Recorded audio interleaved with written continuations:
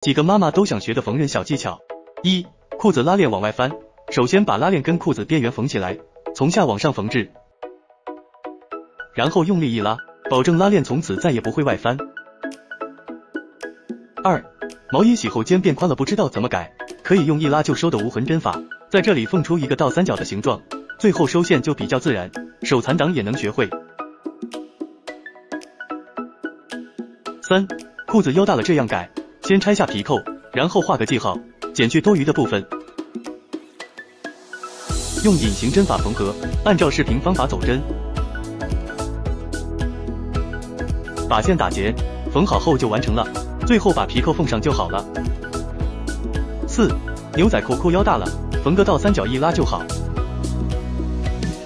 五、卫衣袖子太长了，教你视频中的方法，一拉就变短。